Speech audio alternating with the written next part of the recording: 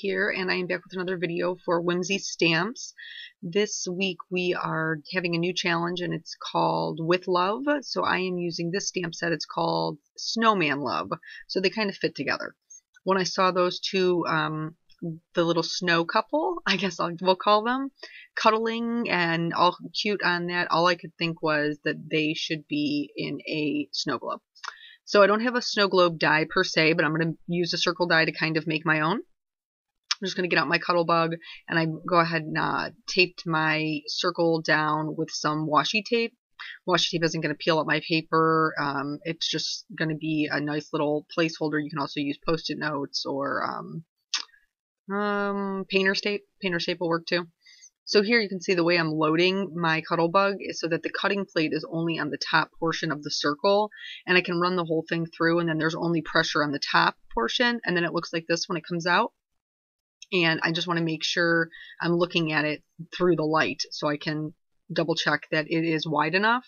And then I'm just going to use my um, uh, paper trimmer and this has a wire in it so I can see exactly where I'm cutting. I can line it up with the edge um, of the cut circle and then just go ahead and cut it down to be the um, traditional snow globe shape, rounded on top, flat on the bottom.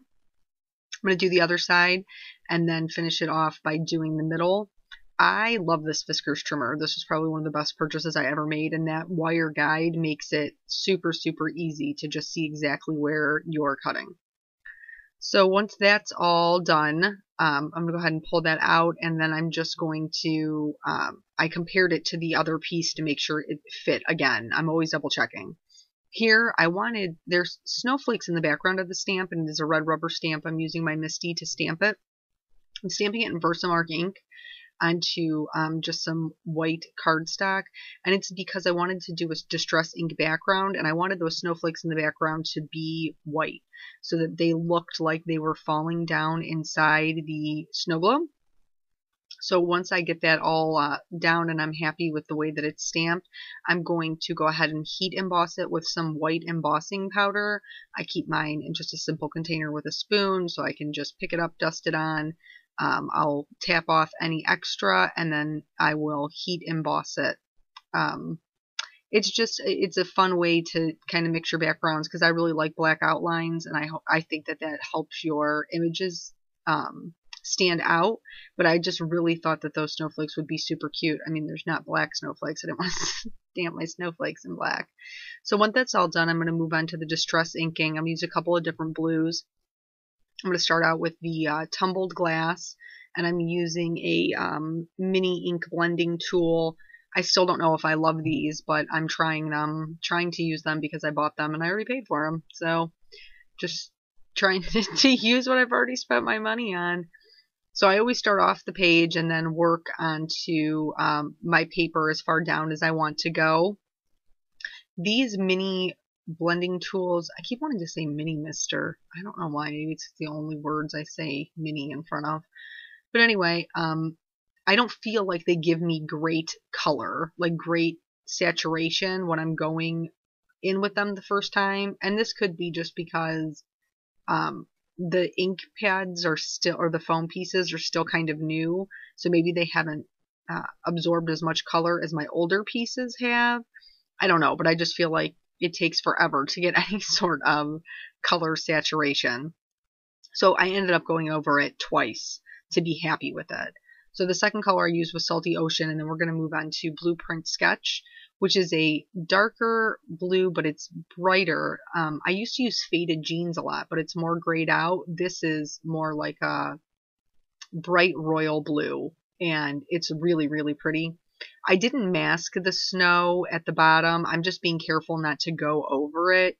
If that's something that you don't like trust yourself, you can always stamp out the image again on a, and create a mask to um, keep your snowbank clean. I felt like I could get close enough uh, for government work without having to take the time to mask it. So like I said, I, I end up going over it twice, and this is me just going back over it. Those snowflakes just weren't popping like I wanted them to uh, with the color saturation that I had the first time over. And I guess it's kind of like an ombre dark blue to up to light blue. Um, and I'll of course do the tumbled glass one more time so everything blends pretty nicely. And then after that, I'm going to set this, well, oh no, I'm going to do the snowbanks on the bottom. So I did add a little bit of tumbled glass to the bottom. I didn't go all the way up to the top, but I didn't want it just to be stark white. I just thought that it looked just a little strange. So I'm not adding a ton of shading, but just a little bit under those snowbanks. And then I am going to set that piece aside and start Copic coloring. So I stamped the image again in um, Memento Tuxedo Black ink. It's Copic friendly. And then I'm just going to get in here and get started. I picked cool grays to not only color my snowman and lady, snow lady, white, um, but I'm also going to use it to do my black. So here I'm just shading basically either side of their bodies um, with my C1 and then I'm going to start adding a little bit more depth with my C3. I use the flicking technique, uh, really light pressure with just the tip of my marker, and I was shading them as if their uh, light source would be almost directly in front of them, like shining right on them. I think that's traditionally when, how most people color when they're not doing um, when they don't know where their light source is. I think a lot of times we have a tendency to put the light source right in the center. And I chose it that way because they're going to be, um, like I said, in a snow globe. So I felt like that would make the most sense. Whenever you're shading white, you're only putting in what the shadows are. Uh, you still want to leave some pretty large white areas for your highlight. Here they look super gray just because um, there's no other color on here, but they'll get better. I was trying to leave a highlight on the like top right hand side that of his hat that didn't end up working out for me so just disregard it. I'm going to color over it in a minute and then nobody will ever be any the wiser. And that is why i do all of my shading the first time around with my lightest marker. Because then if i don't like it i can color over it and nobody knows the difference.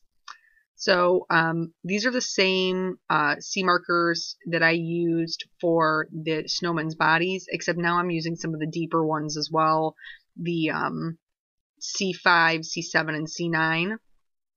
And this is going to give the illusion of a shiny black hat, um, just because we're going to leave that highlight.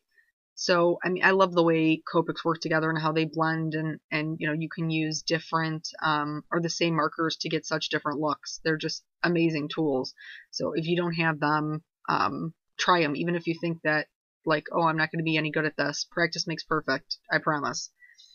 So here, I'm going to move on and do some reds. Um, I wanted to do her hat red. I feel like she's a very fashionable snow lady. So I wanted to give her some color and I'm trying to keep again that highlight more towards the center. Um, for me personally, I'm not I'm not great at this this light source highlighting kind of thing.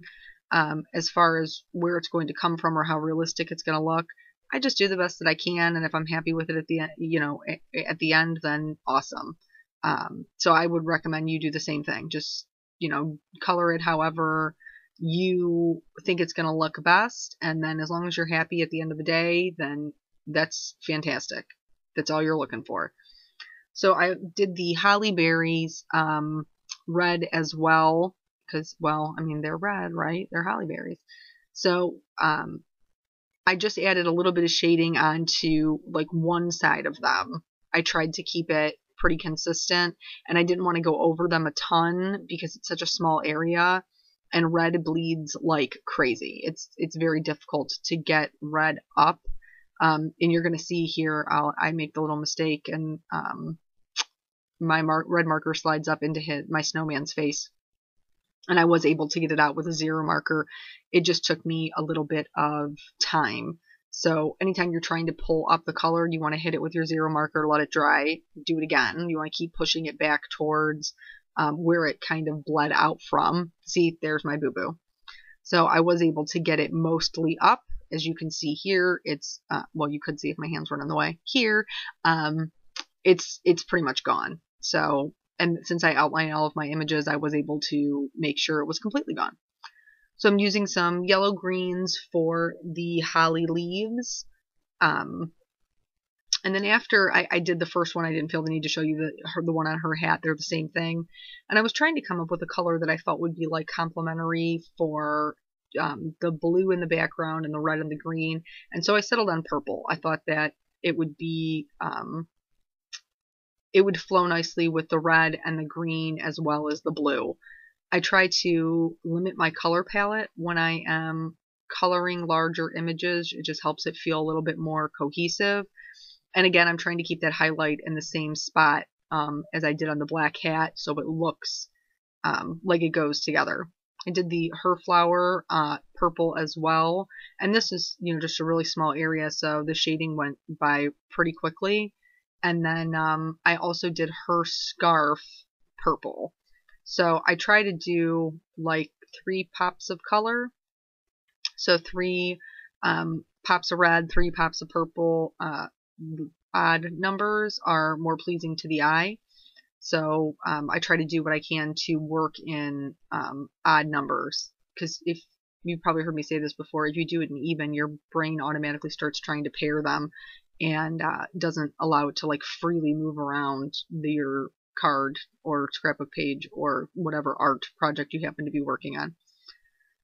So then once her scarf is um, all done, I went ahead, I colored her button, and for some reason, I don't know why, I don't have that on film, but I just did it super quick. So I promise you didn't miss out too much of anything. But I did it the green so that I would have two, you know, complete that little uh, visual triangle of the green one, two, three. Her um, and his nose is going to be um, orange, and my darkest color is actually a red, but it works very nicely with the oranges that I picked. So don't be afraid to mix your color families. Like sometimes you can get end up with something that you really love.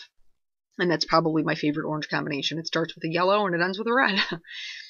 For their arms, um, there's obviously not much to shade here, so I just did two colors. I did the uh, E59 just a little closer to the base of their bodies and called it a day. I outline, like I said earlier, all of my images, so I'm going to start doing that they um this image is pretty easy. Everything's pretty straightforward. Not too many tricky parts. And I just feel like it um I say feel like it a lot. I feel a lot of things apparently, folks. Um, but anyway, it makes your colors pop a little bit more, cleans up your edges, and since I'm a clean and simple card maker, I need all the clean edges I can get. So here we're adding some uh, clear Wink of Stella for some shimmer, and then I'm going to go ahead and fussy cut this out.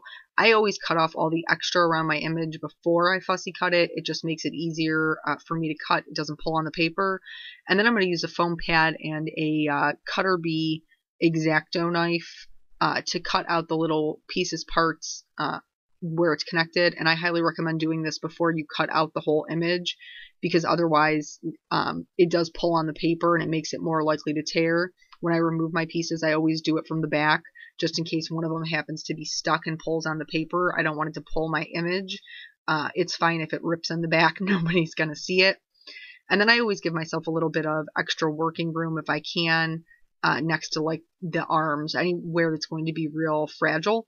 So I kind of just pre-cut it here I'm making sure everything fits in nice and that I'm happy with the way that it looks. And then I'm going to, um, after I adhere them down, I'm going to start working on the shaker portion of it. Like I told you, I thought that they would look super cute in a snow globe, but what's a snow globe without falling snow? Or in this case, glitter.